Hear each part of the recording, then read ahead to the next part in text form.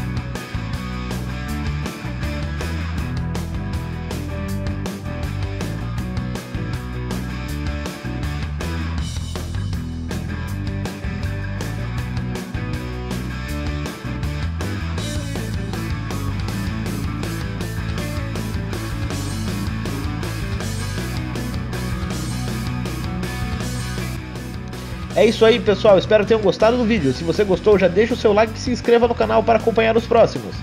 Mande também a sua sugestão do que gostaria de ver sendo feito aqui no canal. Valeu, pessoal, e até o próximo vídeo.